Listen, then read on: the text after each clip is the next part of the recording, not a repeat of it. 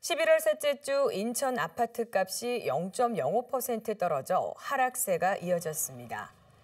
부평구는 청천 삼상동 위주로 0.09%, 미추홀구는 노주택이 밀집한 용현 하객동 위주로 0.07%가 하락했습니다. 남동구도 구월동과 만수동 위주로, 중구는 항동, 신흥동, 구축 위주로 각각 0.04%가 떨어졌습니다.